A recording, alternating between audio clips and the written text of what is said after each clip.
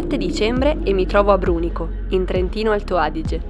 Qui, come su tutto l'arco alpino, ricorre un'antica tradizione, la cui origine risale a tempi lontani e imprecisati, la notte dei Krampus.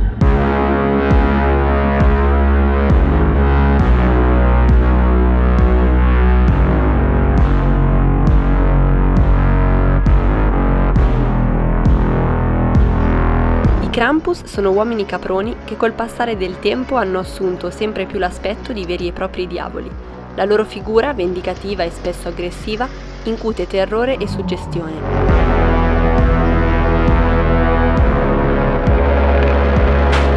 Oltre ad avere enormi corna, i Krampus indossano abiti inquietanti, costituiti da pelli di animali e campanacci che ad ogni movimento emanano suoni assordanti.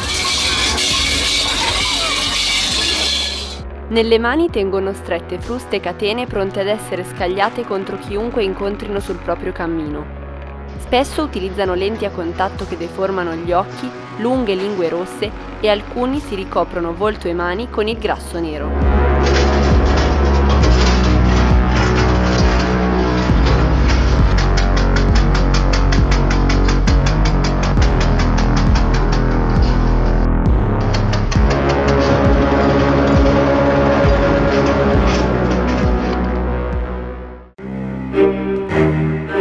La loro specificità, oltre al costume, sta nella maschera, tratto distintivo che diversifica ciascun Krampus.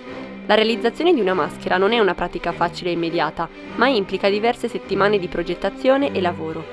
Il legno è ancora oggi il materiale prediletto, nonostante sia pesante e implichi una fatica non indifferente per colui che indossa il travestimento.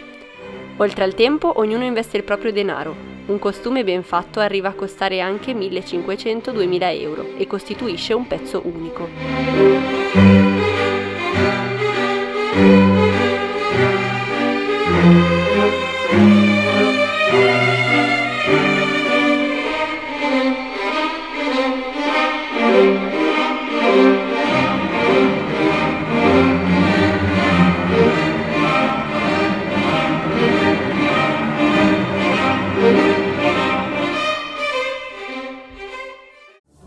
Al calar delle tenebre mi trovo sulla via principale di Brunico.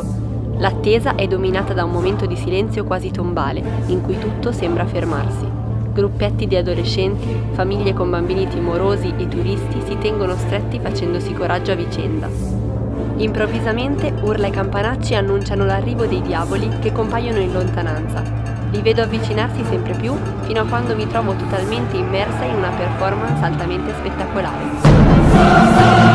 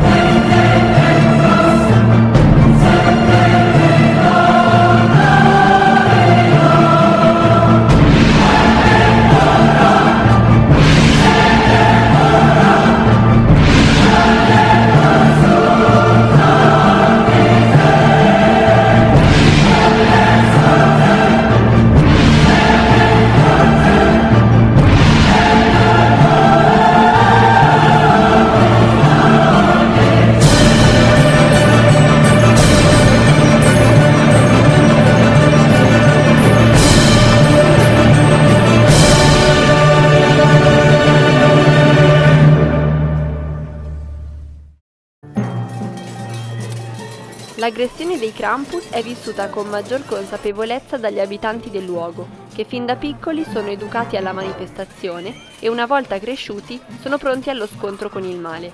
Gli adolescenti provocano volontariamente i Krampus per potersi poi vantare dei lividi eventualmente riportati.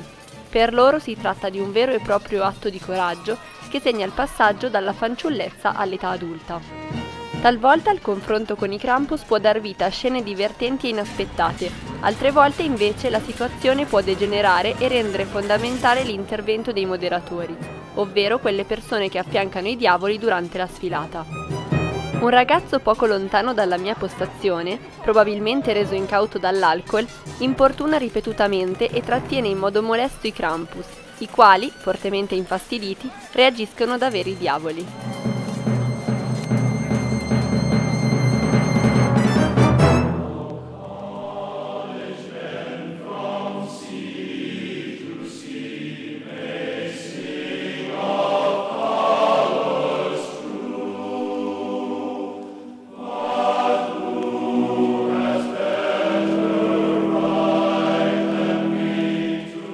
Giorno dopo la tensione accumulata si allenta e mi sento euforica, frastornata.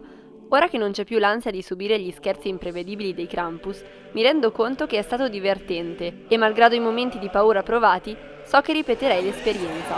Aiuto! Occhio, ma tu fare il cane! Ma perché ce l'hanno con me?